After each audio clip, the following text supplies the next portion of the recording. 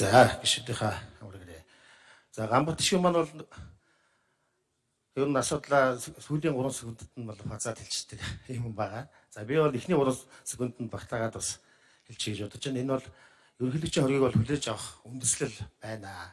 Яагаад ямар ямар үндэслэл байна вэ гэхээр энэ Монгол улсын их хурлын хуульд энэ ерөнхийлөгч үндсэн хуулийн 33 дугаар зүйлд заасан үндсэн бүрэн эрхийнхээ хүрээнд хууль санаачлална гэд заалтар болсон байна.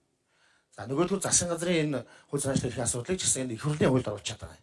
Тэгэхээр ерөнхийлөг засгийн газар одоо ямар хүрээнд хууль санаачлах асуудал нь өөрөө улсын их хурлын тухай хуулиар зохицуулах асуудал биш юм аа. Биш юм.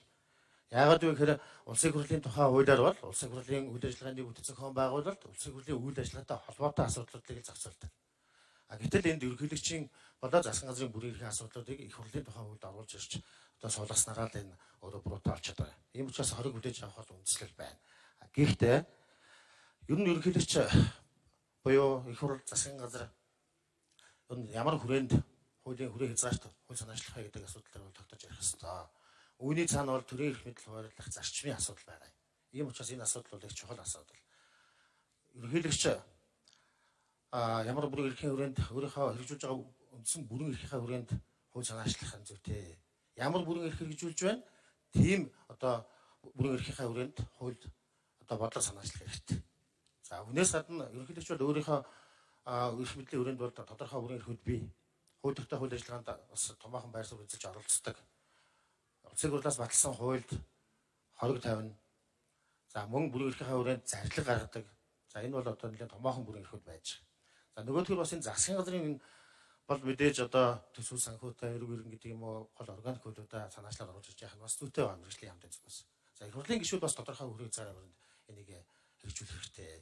Ийм учраас энэ 78 субъект байгаа хууль санаачлах ийм учраас эдгээрийг бол тодорхой журамлаж хүрээ хязгаарын тогтоож өгөх хэрэгтэй гэдэг үнтэй бол одоо санал нэг байгаа даа. За ийм учраас энэ хоргийг яаж одоо хүлээж авах авлуулна?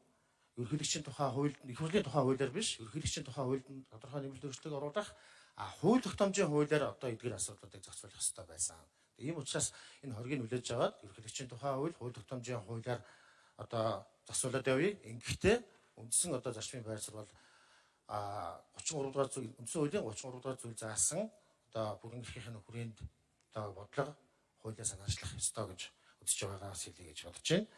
За ийм болохоор ер нь цаашдаа энэ асуудлыг бол энэ төрийн мэдэл хуваарлах зарчмын энэ хэрэгжилтээр уялдуулаад ер нь асуудлуудыг бас нэг мөр одоо бид бас авч үзэх юм шаардлага байгаа гэдгийг бас энэ дашгамд хэлье гэж бодож байна.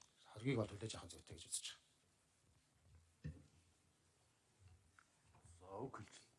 За бямц дараах асуултанд хариулна.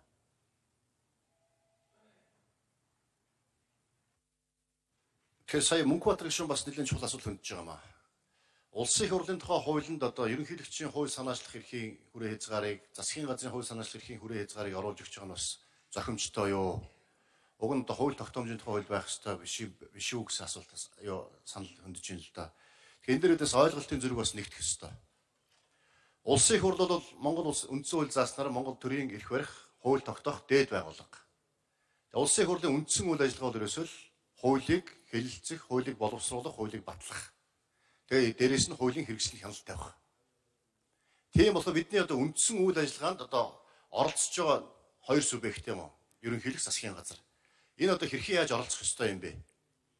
Энийг бид нэр өөрсдийн одоо өөрсдийнхөө өөрсдийнхөө үйл ажиллагаа зохицуулсан хуулиндаа тусгаж өгөхгүй бол а хэн нэгэн тийм хууль санаачлаад а бид одоо их хурлын хуулийн заагааг учраас би ийм хууль санаачлах хэрэгтэй одоо болно гэдэг байдлаар хуулийн зөрчил одоо хийдэл үүснэ.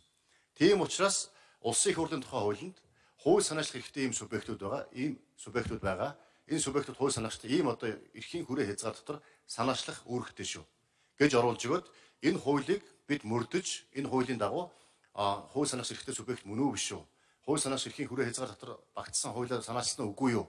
гэдгээ шалгаж шалгуур хангасан эсгийг шаардаж байна тийм үү? Ингэж ч улсын их хурл хуулиа хилцдэг баталдаг байхгүй бол энэ зөрчил үүснэ.